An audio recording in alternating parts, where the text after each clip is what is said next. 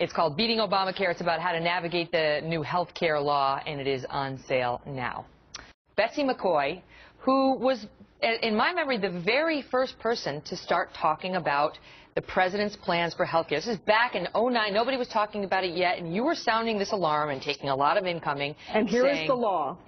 She's she's the one who's read it. That's right. Look at that. Look at the dog-eared papers with like the Here coffee the law, stains and on here it. is the new book that actually describes it in simple, no-spin terms, beating Obamacare. That looks much more digestible. Yes. Um, so you did not want to see this law passed, but it was passed. And now you feel like people need a guide to how to navigate around it or navigate the pitfalls of it, including specifically, let's talk about it, but let's start with premiums because that's what's in the news, that premiums are already up and they're going up higher. That's right. And there's a simple reason. There is no tooth fairy.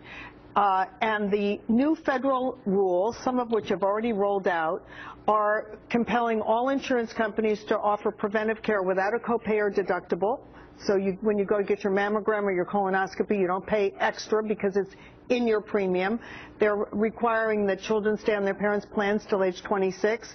Well, the more you require insurance companies to cover, the more you have to pay for that plan. Mm-hmm. So that's why premiums have already gone up a bit.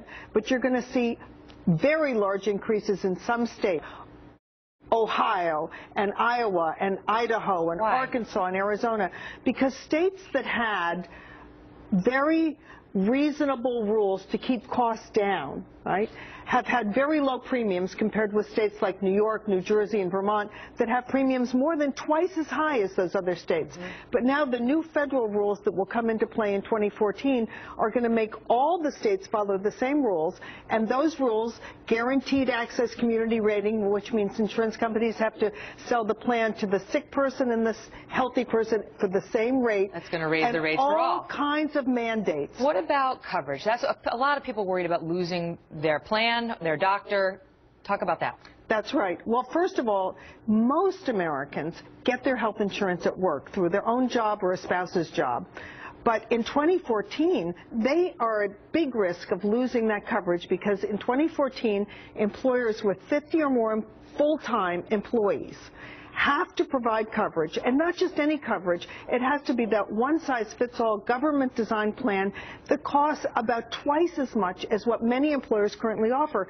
So employers are going to say, I can't afford that. I'm going to pay the penalty instead. Or I'm going to push my full-time employees down to part-time status mm -hmm. to evade this law entirely. If you've got 55 employees right now, you may suddenly want to have 49 and six people could lose their jobs because you don't, you're not covered by Obamacare if you do that. That's exactly right. And many of the big management consultants are predicting that between a third and a half of employers are going to drop coverage. That, that doesn't mean that you'll be uninsured. You won't have that option.